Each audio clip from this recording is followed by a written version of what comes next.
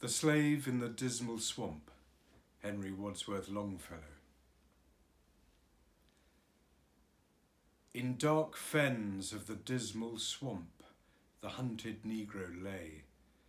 He saw the fire of the midnight camp, and heard at times a horse's tramp and a bloodhound's distant bay.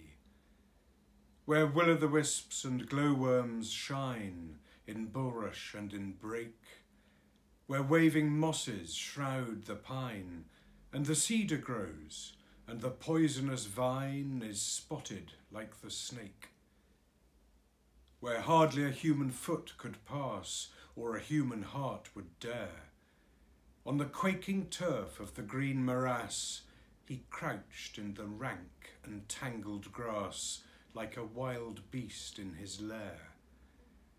A poor old slave, infirm and lame, great scars deformed his face.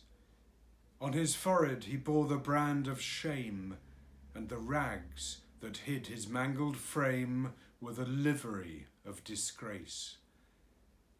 All things above were bright and fair, all things were glad and free.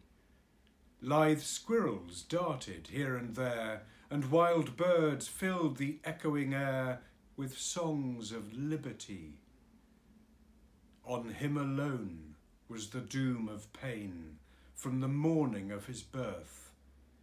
On him alone the curse of Cain fell like a flail on the garnered grain and struck him to the earth.